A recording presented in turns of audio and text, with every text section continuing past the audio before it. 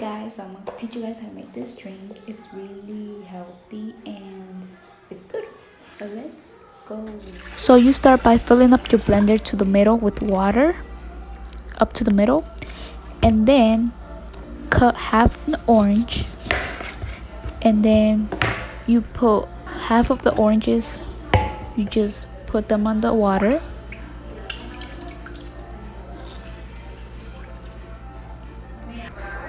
and then a lemon.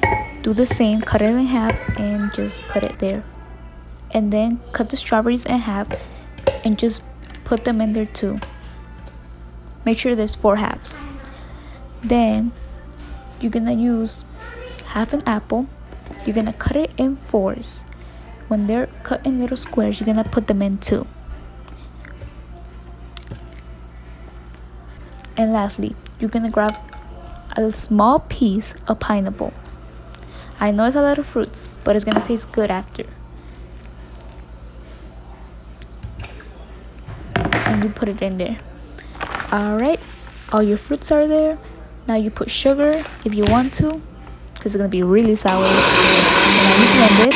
Once it's blended, you're gonna check and then you're gonna put it in your cup. It's gonna be bubbly. And these are the results. It's really good. You guys should try it, and since summer is coming up, you guys will love it. Alright, make sure you guys follow me on all social media, and see you guys later.